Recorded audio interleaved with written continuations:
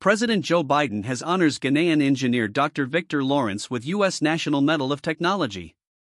Dr. Victor Lawrence, a Ghanaian born, U.S. based electrical engineer, inventor, and telecommunications expert, has received the prestigious National Medal of Technology from U.S. President Joe Biden during a ceremony at the White House. This award, the highest honor for engineering in the United States, recognizes Dr. Lawrence's groundbreaking work in digital signal processing, which was instrumental in the transition from analog to digital networks. His contributions have significantly advanced early Internet access technology and global data communications, cementing his status as a trailblazing scientist and innovator. With over 20 patents to his name, Dr. Lawrence's work has shaped the digital infrastructure of the modern world. Notably, he is the first African born recipient of this honor, highlighting his global influence in science and technology. An alumnus of Achimota School in Accra, Ghana, where his passion for science was first nurtured, Dr. Lawrence attended the institution from 1957 to 1964.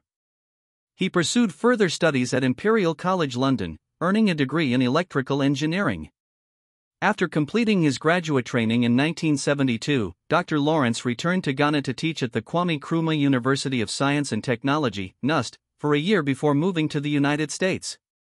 His most significant achievements came during his tenure at the renowned Bell Laboratories, where he made pioneering advances in digital signal processing and telecommunications.